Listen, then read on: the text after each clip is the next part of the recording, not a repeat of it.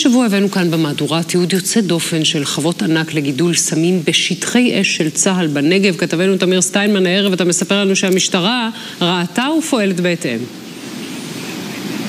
כן, נכון, יונית, בעקבות התמונות האלה של ההפקרות בשטחי האש, האלימות וגידול הסמים בחוות, חוות גידול לאורך נחל באר שבע, בחממות מוסוות ובמערות חשאיות שחשפנו, המשטרה היום יצאה למבצע רחב היקף למיפוי ואיתור המקומות האלה וחיסוף השטח, השטח, שופלים, טרקטורים שעלו על הקרקע וגילחו את גידולי הסמים שהושמדו.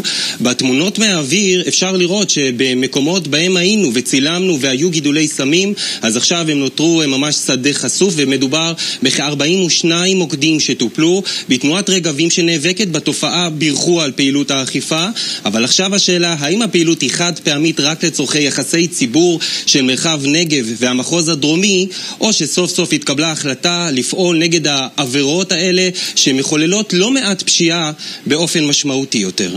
תודה רבה. תודה, תמיר.